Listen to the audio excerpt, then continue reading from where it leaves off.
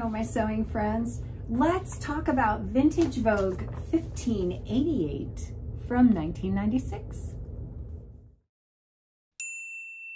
I'm Jen and this is my sewing room where I made this. This is Vogue 1588. It is from 1996 and I made a size 16 out of scraps that I had left over from another project. I color blocked it out as you can see. This says easy, indeed it is. It's very simple to put together even though it looks kind of crazy.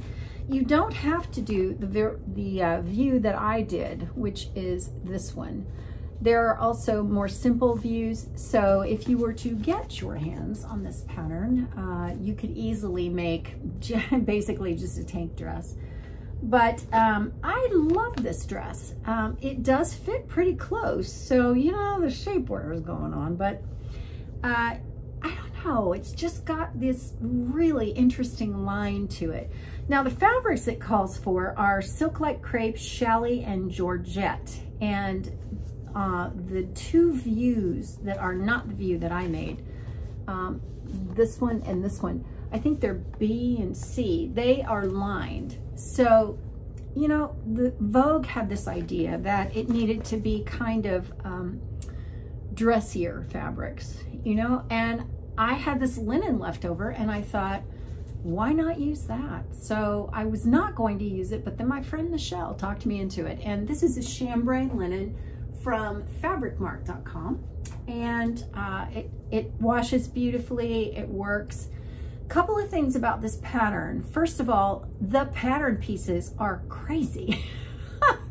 you have your front piece and it's, you know, it's cut like this, but well, first of all, it's cut, you know, odd because there's this odd part of it. And, and then it's wider and it, because it wraps around. See how it wraps around to the back here?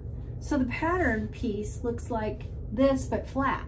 It's crazy. And the same with the back. You know, you have this and then it wraps around to, you know, to the front. So you have, really have to look at the pattern pieces and make sure that you are looking at the right thing. Make sure that you look at the piece as it's labeled underneath, you know, where the pattern number is and the sizes and all that kind of thing. Mm -hmm. You need to do that because if you don't, you're going to be in trouble. Uh, it goes together really quickly, simple to do. Um, I had a little bit of trouble with the um, armholes being a little too big. And that frequently happens to me when I make a size that is going to accommodate my bust and my uh, waistline. Um, I've heard Nancy Zieman say when you pick a size, you should pick a size that's your upper bust measurement instead of your full bust, but I always look at the pattern for the finished measurements and uh, I just didn't think that a 14 was quite gonna do it. So I went ahead and went with the 16 and I'm glad I did because if I hadn't, this would have been really tight.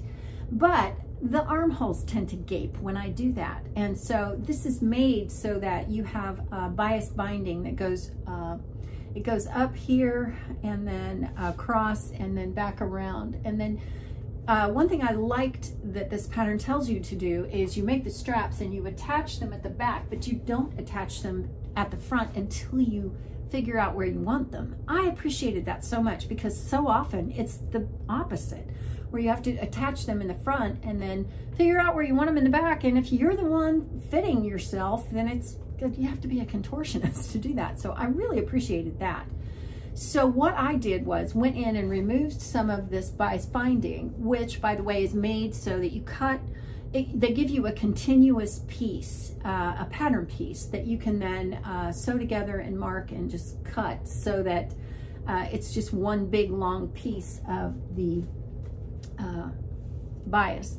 And then they have you fold it in half because it's, it's probably about two inches wide, I wanna say and then you fold it in half and then when you stitch it, you stitch it along the raw edge, but then you can just fold it like this. And when you go to stitch it down, you've got that fold edge that's a finished edge. So there's not a whole lot of uh, fussing around with trying to fold something under and you know, all that. So you do that all around here. When I uh, went in to fix this armhole gape thing, I uh, removed some of that and then I just went over to the mirror and pinched it out and I ended up putting in a couple of darts here. They're not very big darts, but and they do ankle down, but you know what? That fixed the problem and that was important to me. One thing I did, well, another thing I did was that I figured out where I wanted the straps before I fixed this problem. And that was important because if I hadn't done that, then I may have gotten this part wrong because, you know, of the way it falls, the way it drapes.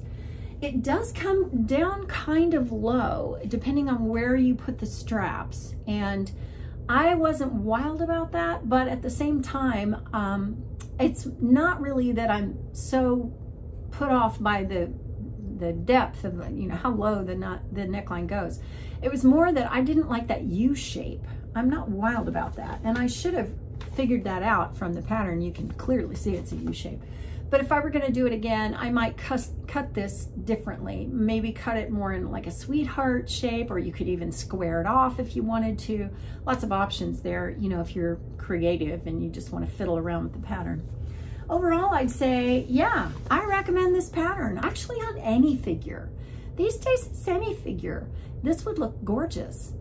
Uh, especially if you used a very kind of a slinky fabric and you wanted something that's kind of dressy to be able to wear to um, like a wedding or something like that, you know, a formal occasion. It is long. I made the longer version because there was really no option to make it shorter. Uh, the, you can make it shorter, but these two other views are really, those are the shorter ones. And the way this was cut in so many crazy pieces, you know, um, I just did not want to mess with that. So I just went ahead and made it long. And then I asked my husband after I got it done, what do you think? Should I cut it off and make it shorter? He goes, no, no, I think you need to leave it long. It's pretty. So that is my opinion of Vogue 1588 from 1996. Let me know if you've ever made this pattern, if you like it, if you were disappointed with it, if you made a different view, what fabrics you made it out of. I'm always interested to know if someone else has made something like this and how they interpreted it. So that'll do it for me for now. Uh, if you would like to see a playlist of my other pattern reviews, just check right over here. I'll see you next time. Thanks for watching. And don't forget that you are the most precious, precious, invaluable person that God could ever have created.